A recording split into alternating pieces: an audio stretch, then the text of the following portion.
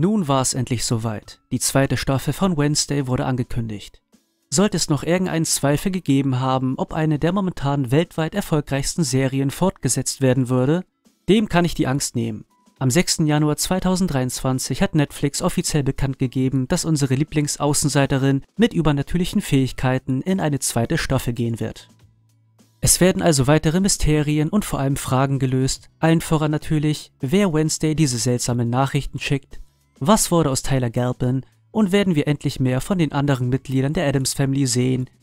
Also auf die letzte Frage habe ich schon direkt eine Antwort, weil die Showrunner bereits angekündigt haben, mehr von den anderen Mitgliedern zu zeigen.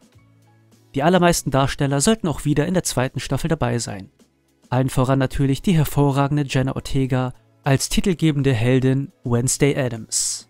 Ein Veröffentlichungsdatum wurde noch nicht bekannt gegeben, aber wir sollten schon Ende des Jahres mit der zweiten Staffel auf Netflix rechnen dürfen. So, was sagt ihr?